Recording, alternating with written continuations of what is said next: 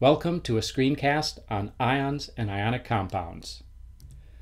The objectives of this screencast are to define ions, predict charges of ions of main group elements, state names and formulas for common polyatomic ions, identify ionic compounds, and determine formulas and names for ionic compounds. The elements in the periodic table are organized according to their properties. Elements in a given column or group have similar properties, and as an example, the alkali metals, elements in column or group 1, lithium, sodium, potassium, etc., they all have similar chemical properties, how they react, they have uh, similar physical properties. The alkaline earth metals, column 2, all have properties similar to other elements in that column. Same for all of the other columns or groups. Now, the reason for these similar properties is that uh, atoms of elements in a given column have similar electronic structure.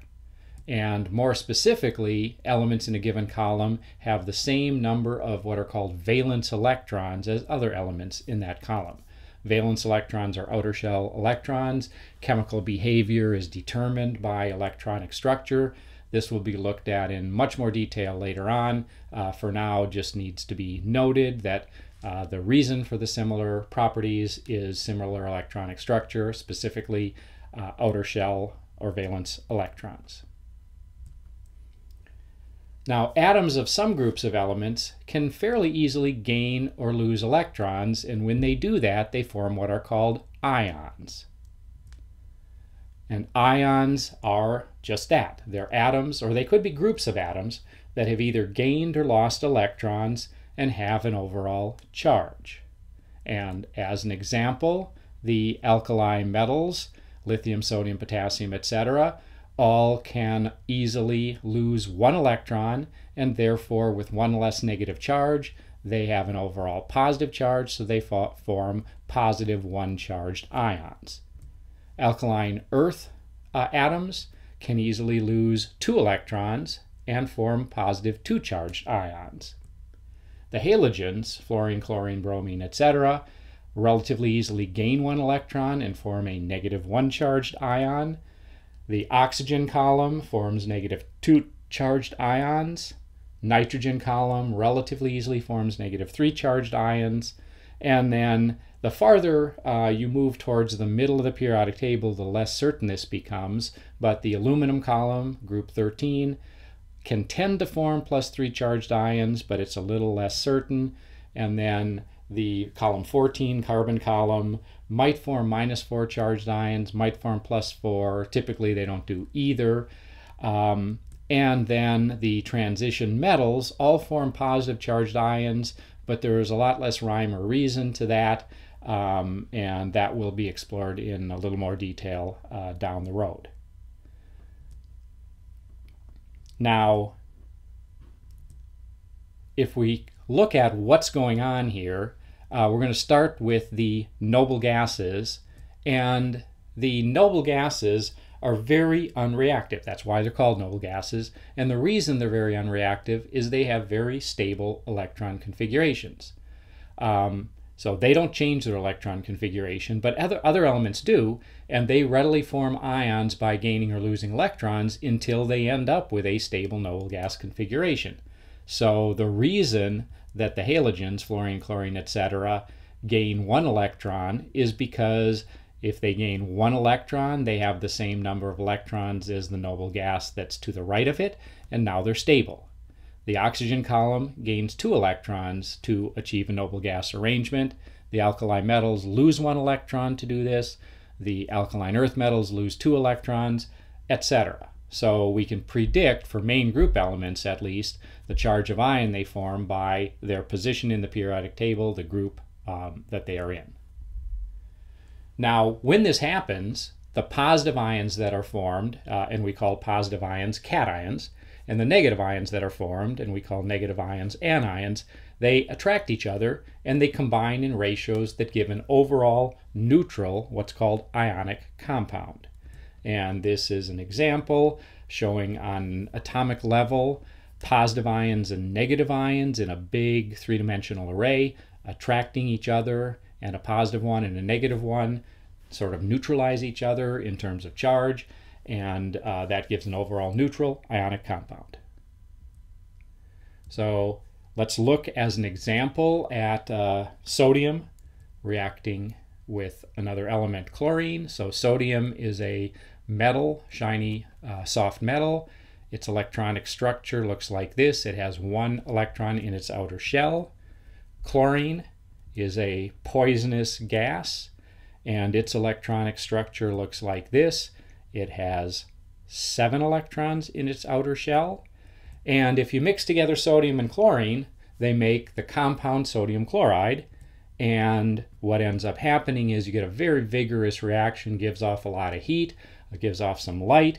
But if you let things cool down, you get this white powder, uh, this white crystalline solid that you can sprinkle on your french fries. And what happens on an atomic level is a sodium atom loses one electron from its outer shell. That electron adds into the outer shell of the chlorine atom, and this transfer of electrons gives us a positive sodium ion and a negative chloride ion, and the two attract each other and make the compound sodium chloride.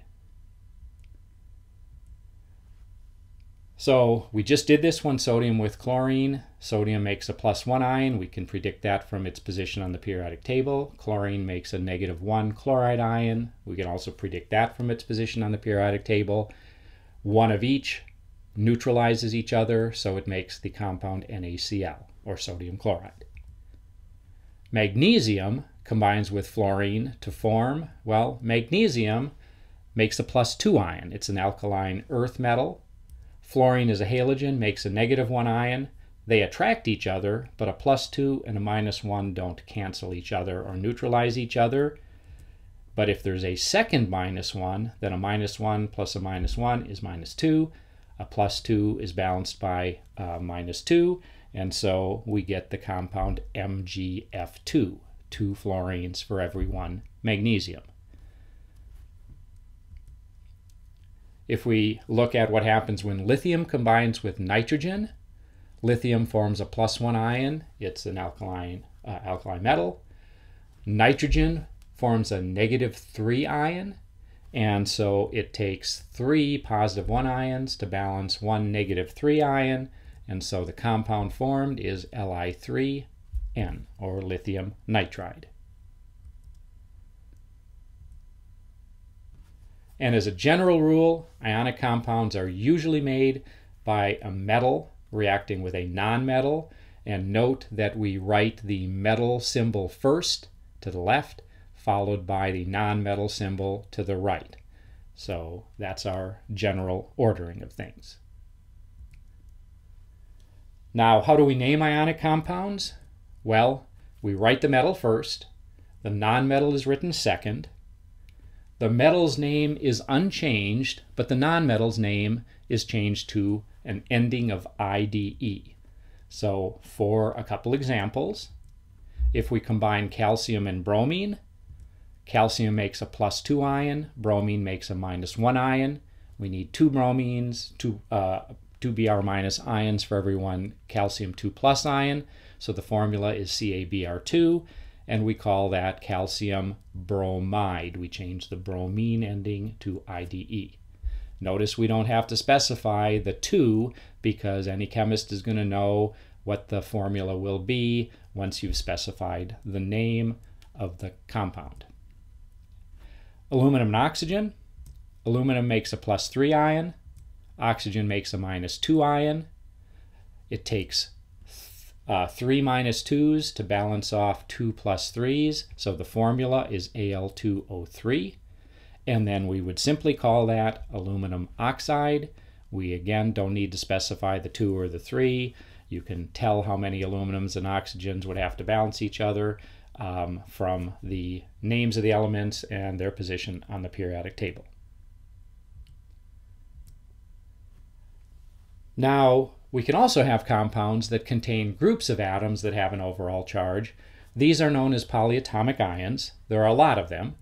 Uh, there's a number of common ones you're probably going to want to learn. I'll mention a few here.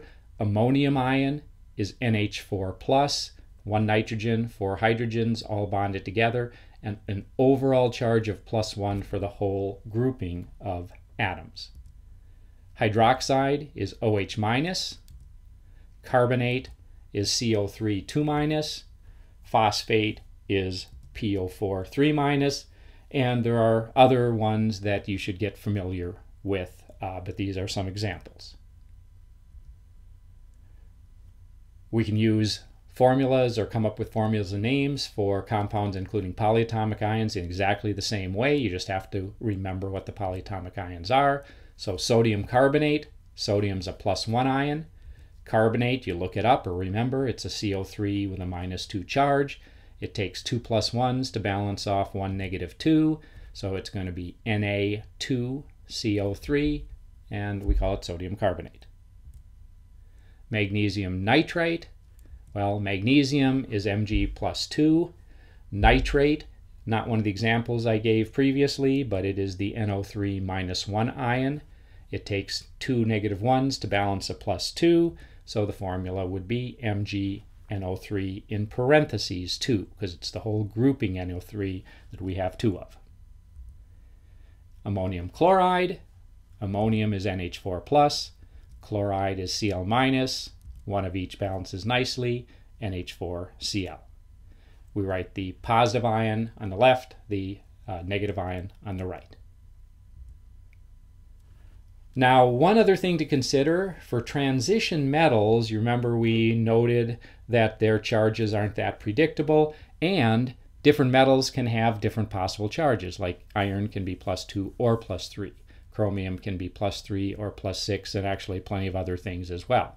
So how do we deal with that uh, situation when we can have more than one possibility? And to do this, we indicate charge with a Roman numeral if we have a transition metal atom or ion. So iron 2 plus, we are going to write as iron Roman numeral in parentheses 2 ion.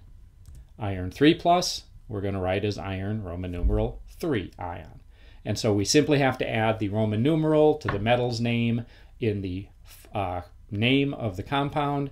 And in, if we have the formula, we can figure out what the charge of the ion would be from the formula. So a couple examples of this.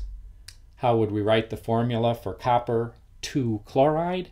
Well, copper Roman numeral 2 means it's a plus 2 charged ion. Chloride is a minus 1 charged ion. We need two minus 1s to balance a plus 2, so we would write the formula as CuCl2 tin 4 oxide? Well, tin is SN and it would have a plus 4 charge. Oxide is a minus 2 ion. So we need two minus 2s to balance 1 plus 4.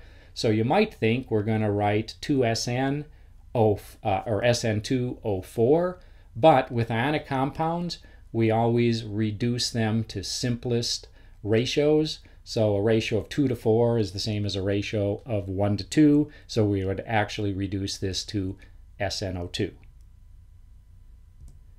And let's do one for formula going to name, Fe3PO42. What's that called? Well, PO4 is a minus 3 ion. It's phosphate. If we have two of those, that's a total charge of minus 6.